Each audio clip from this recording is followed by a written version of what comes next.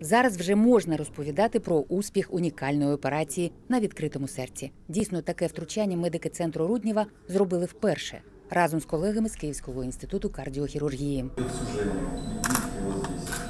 А, Это, это сужение ну, как бы не давало возможности про- провести трубочку большего диаметра.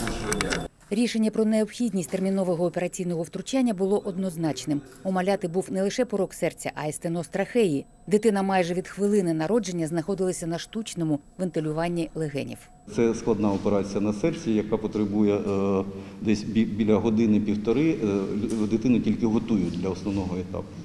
Сама операція була 2,5 год- години, серце стояло 38 хвилин. Такого дос- досвіду у світі не дуже багато, бо патологія досить така рідка. Операція тривала 5 годин, бо складалася з двох частин пластики трахеї та усунення серцевих пороків. Завдяки сучасному обладнанню медикам вдалося зробити все необхідне дуже швидко. На данный момент состояние ребенка уже стабильное. Ребенок переведен из отделения реанимации в отделение патологии новорожденных. Возраст его 2 месяца.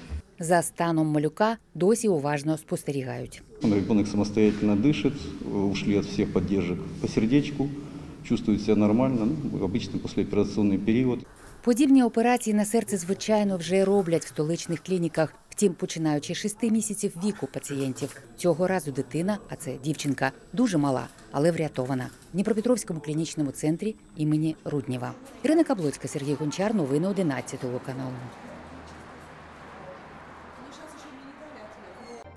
Одинадцятий канал. Усі фарби твого життя. Обов'язково підписуйтесь на наш Ютуб канал, щоб дізнатися першими про найважливіше. Слухайте, дивіться, коментуйте.